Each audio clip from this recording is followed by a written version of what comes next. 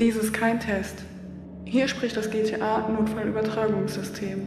Wir verkünden den Beginn der diesjährigen Purge, der Säuberung, die offiziell von der US-Regierung zugelassen wurde. Waffen der Klasse Sturmgewehr und niedriger sind für den Einsatz während der Säuberung erlaubt.